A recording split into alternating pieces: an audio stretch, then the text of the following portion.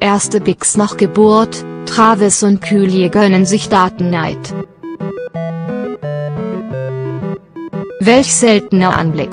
Anfang Februar ließ Kühlie Jena, 20, die Barbie-Bombe endlich platzen, nachdem monatelang nur über eine Schwangerschaft des Kardashian-Kükens spekuliert werden konnte, offenbarte das Reality-Sternchen, dass ihr erstes Kind mit Travis Scott, 25, das Licht der Welt erblickte.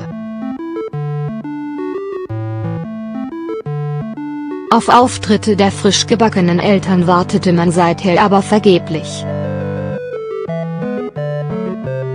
Jetzt würden die Dorteltauben endlich wieder gemeinsam bei einem süßen Date gesportet.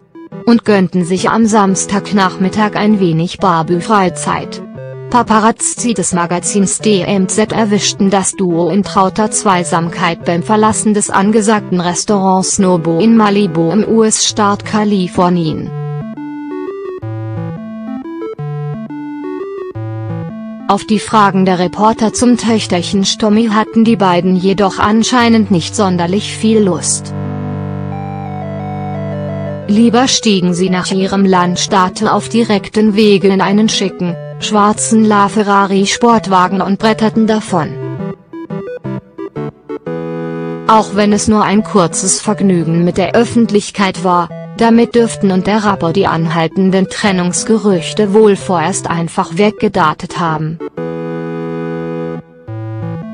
Immer wieder wurde in der Vergangenheit gemunkelt, dass es beim Bärchen kriseln soll. Denn auch schon vor den Schwangernews galten Papix eher als Rarität.